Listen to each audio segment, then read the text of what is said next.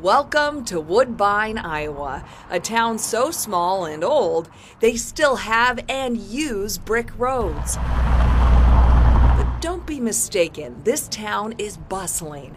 It's more than the fresh paint and refurbished storefronts on its main street. They're building something truly remarkable. Change takes commitment, persistence, and maybe even a little sweat. Here at the crew, they know if they invest in the individual, they invest in the community. The social life. A bunch of seniors sitting around swapping war stories. Oh, did you hear that on? This is a scene straight out of every rural town. I look forward to coming here, and and uh, normally after I've been here a while and talked to people, I go home with a big smile on my face every day. So, what brings them together? When we all joined, he said, The coffee pot will be on every morning, and we want you to come and have coffee. And I don't know if he knew our group was going to get this big when he said that. Now, this group meets every day. But it's not the coffee stirring up this sleepy town, it's this brand new 24 hour gym. I'm still waiting for that rush you're supposed to get after you exercise. I've never felt it.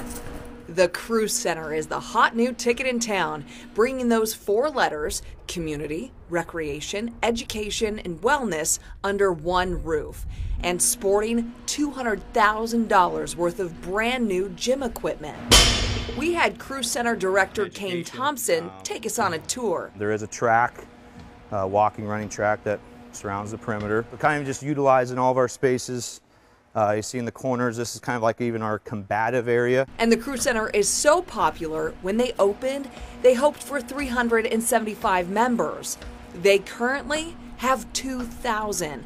That's bigger than the whole town. We want anybody that walks in the door to know that there's something in here for them. Ted Webb uses the courts to play pickup pickleball with his wife. I've lost 35 pounds. I've gone through two heart stents, and I got through that and rehabbed here. And um, I also swim uh, three days a week, a lot of times. And so it, for me, it's been a, a wonderful opportunity. And for parents, how's this for a perk? We do provide complimentary child watch, different than the daycare, but with your membership, essentially we have certain hours of the day where we'll have a staff member in here. You can drop your kiddos off while you go work out. It took more than muscle and willpower for a town of 1,500 to pull this off.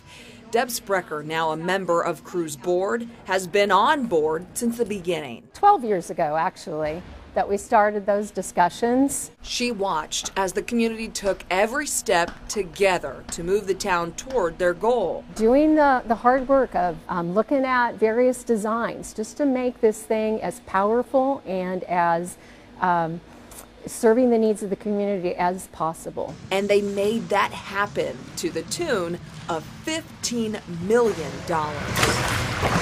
Also making a splash, a whole new take on education.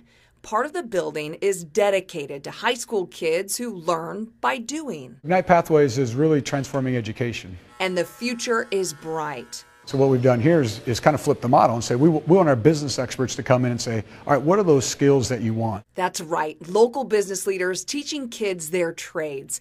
And soon they'll get to do it in this 45,000 square foot building going up right next to the Crew Center. What we can offer to folks is just a different kind of thinking and a different kind of experience that we think Iowans want and need. Also being built nearby, 150 homes are going up five minutes from the Crew Center. There's a realtor that shows houses, and she said, I have brought two or three people that I've showed houses to up here, and she said, I felt this place sold the house for me.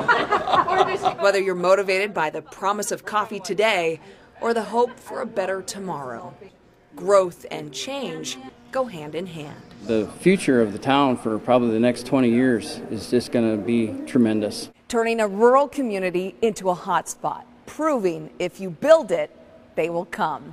After all, this is Iowa. Reporting in Woodbine, Alex Sachs, KCCI 8 News, Iowa's news leader.